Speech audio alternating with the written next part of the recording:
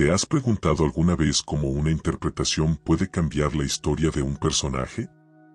Alfonso Obregón, la voz latina de Shrek, no solo asumió el reto de darle vida al logro más famoso del cine en nuestra región, sino que lo hizo a su manera, con un estilo tan único que conquistó a millones de espectadores en toda Latinoamérica.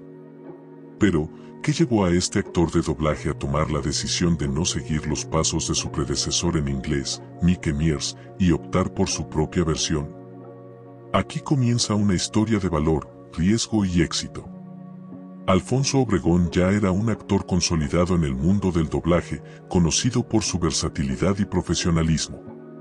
Pero cuando le asignaron el papel de Shrek, se enfrentó a una enorme responsabilidad, debía doblar a un personaje que en inglés ya había sido interpretado por una figura cómica del calibre de Mickey Mears.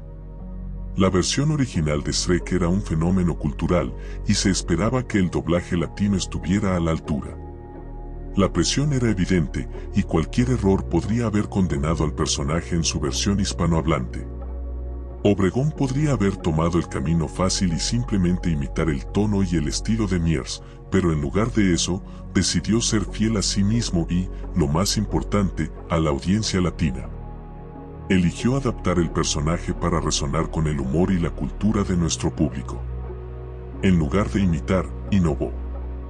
Con valentía, le dio a Shrek un carácter más cercano, con un toque de sarcasmo y picardía que logró conectar profundamente con la audiencia. Esta decisión no fue sin riesgos. El doblaje es un arte en el que la fidelidad a la interpretación original suele ser la norma. Sin embargo, Alfonso Obregón entendió que el público latino necesitaba algo más, algo con lo que pudieran identificarse de manera auténtica. La voz que eligió para Shrek con matices distintos al original, logró hacer que el personaje no solo fuera gracioso, sino entrañable. En Latinoamérica, la versión de Shrek de Obregón no solo igualó a la de Miers, para muchos, la superó. Este acto de valentía nos deja una enseñanza importante, atreverse a ser diferente, a confiar en tus propias capacidades, puede llevarte más lejos de lo que imaginas. Alfonso Obregón apostó por su propio talento y creó algo único, que aún hoy es recordado como una de las mejores adaptaciones de doblaje en el cine. A veces, los caminos menos transitados son los que más recompensas ofrecen. No se trata de copiar lo que otros hacen, sino de aportar tu propio toque, tu esencia, para que lo que crees sea único y memorable. Si en algún momento te sientes inseguro de tus decisiones o de la forma en la que enfrentas un reto, Recuerda a Alfonso Obregón y su valentía para ser diferente.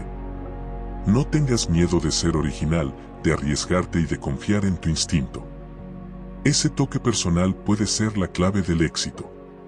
Si te gustó esta historia y quieres conocer más sobre las crónicas de personajes que marcaron una diferencia en la vida de otros, no olvides darle un me gusta. Comenta qué parte de la historia te sorprendió más y suscríbete al canal para más relatos inspiradores como este.